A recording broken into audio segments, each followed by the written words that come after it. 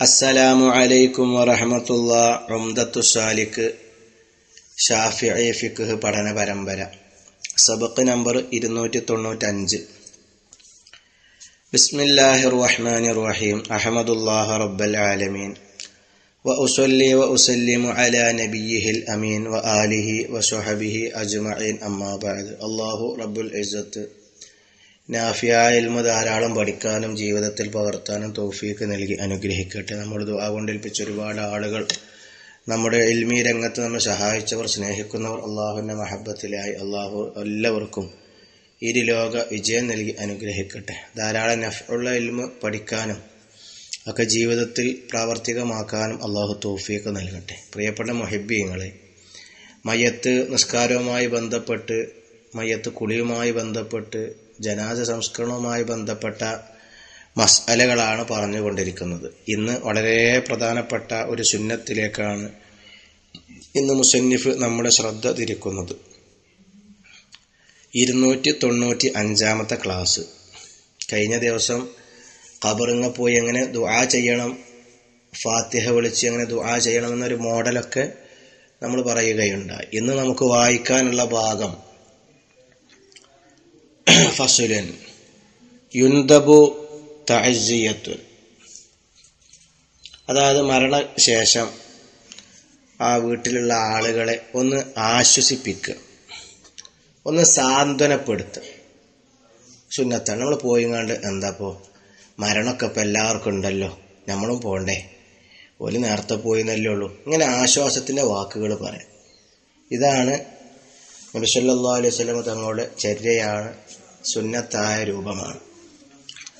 അപ്പോൾ അതുകൊണ്ട് ക്ഷമയുടെയും ശാന്തിയുടെയും സമാധാനത്തിന്റെയും വാക്കുകളായി നമ്മൾ പോയി പറയേണ്ടത്. ആ ഇനിയിപ്പോൾ ജാ കുടുങ്ങി അണക്കിപ്പം ഇനി ആരാ ഉള്ളത്? ഇങ്ങനത്തെ സംസാരം നമ്മൾ സംസാരിക്കാൻ പാടില്ല. പ്രതിഫലം ലഭിക്കണമെങ്കിൽ ആശ്വാസത്തിന്റെ വാക്കാണ് നമ്മൾ പറയേണ്ടത്.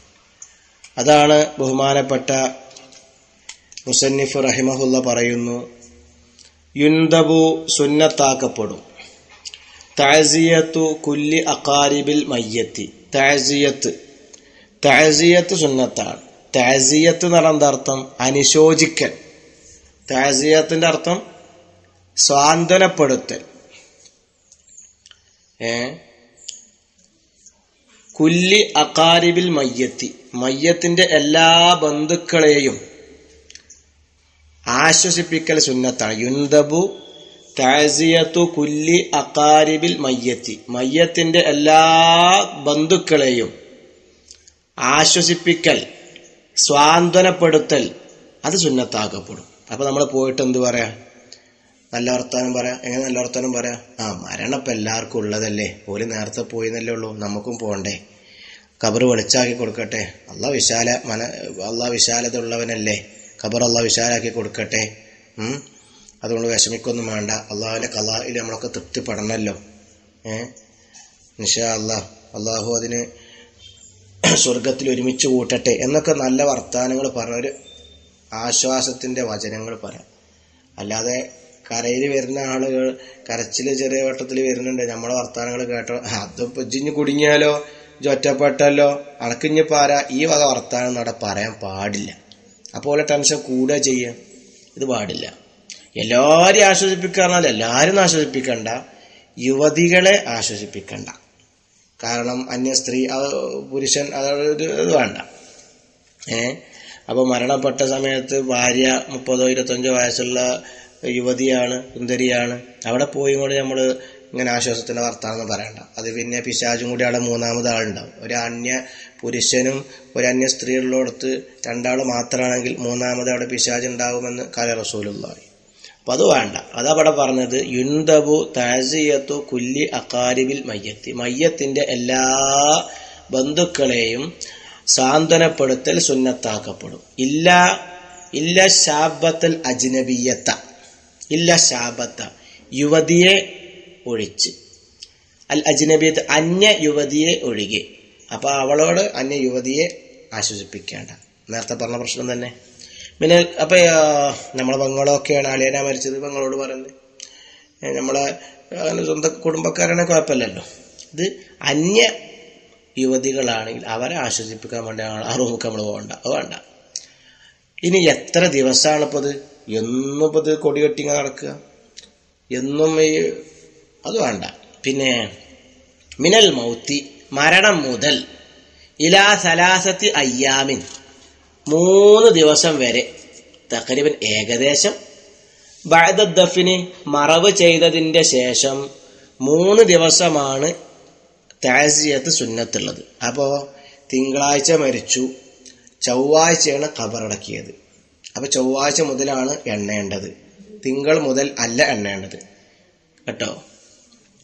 മനസ്സിലായല്ലോ? അപ്പോൾ മിനൽ മൗത്തി മരണം മുതൽ ഇലാ സലാസത്തി അയ്യാമൻ മൂന്ന് ദിവസം വരെ.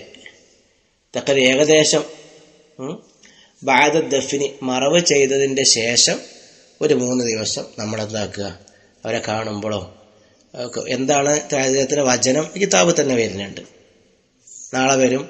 ആലമല്ലാഹു അജറക്ക വഹസന അസാക്ക വഫർ അലി മയ്യത്തിക്ക എന്ന വാക്കുകൾ. അത് മുസ്ലിമിനോടും താസിയാത്ത് സുന്നത്തുണ്ട്. കാഫിറാണ് മരിച്ചത്. എന്നാൽ ഓരോടും നമുക്ക് പറയൽ സുന്നത്തുണ്ട്. നോക്കുക. അപ്പൊ അന്യ യുവതികളെ സാന്ത്വനപ്പെടുത്തൽ സുന്നത്തില്ല എന്ന് പറഞ്ഞു. അപ്പോൾ മരണം മുതൽ ഏകദേശം ഒരു മൂന്ന് ദിവസം കഴിയുന്നത് വരെയാണ് താജീയത്തിന്റെ സമയം എന്ന് പറഞ്ഞു. ഇനി ഒരു ശ്രദ്ധിക്കണം. സുന്നത്ത് പറയുമ്പോൾ ഒരു കറാഹത്തും കൂടി അവിടെ മനസ്സിലാക്കണം. അവിടെ പോയിട്ടുള്ള ഒട്ടല്ല. മരിച്ചോടത്ത് പോയിട്ട് ഇനി അവിടെ തന്നെ രാവിലെ മുതലാണ് പോയി കുത്തിരുന്ന്. രാവിലെ അവിടെ തന്നെ നാസ്തി അവിടുന്ന് കഴിച്ചു. ഉച്ചചോറും അവിടുന്ന് കഴിച്ചു. മരിച്ച വരെയെന്ന് അങ്ങനെ അവിടെ വെറുപ്പിച്ചല്ല. അത് വേണ്ട. വയുക്കുറഹു കറാഹത്താക്കപ്പെടും. അൽ ജുലൂസു ഇരിക്കൽ ലഹ. അനുശോചനത്തിന് വേണ്ടി അവിടെ അങ്ങനെ കുത്തിരുങ്ങാട് അവിടെ പോയി ഒട്ടുക എന്നുള്ളത് അത് ശരിയല്ല. ഇവർക്ക് വേറെ പണിയും തൊഴിലൊന്നും ഇല്ല. അവിടെ പോയി അങ്ങനെ കുത്തിരിക്കുക? അത് വേണ്ട. ലഹ എന്ന് പറഞ്ഞാൽ ആ താജ്യത്തിന് വേണ്ടി അവിടെ ഇങ്ങനെ നീണ്ട മണിക്കൂറുകൾ ദിവസങ്ങൾ ഇരിക്കുക എന്നുള്ളത് അത് വേണ്ട. കറാഹത്താക്കപ്പെടും. അവിടെ കേട്ടെ ഇത് ആവശീയത്തോടെ ഇരുന്നൂറ്റി തൊണ്ണൂറ്റഞ്ചാമത്തെ ക്ലാസ് പൂർത്തിയാവുന്നു. അസ്സലാമു അലൈക്കും വറഹമത്തുള്ള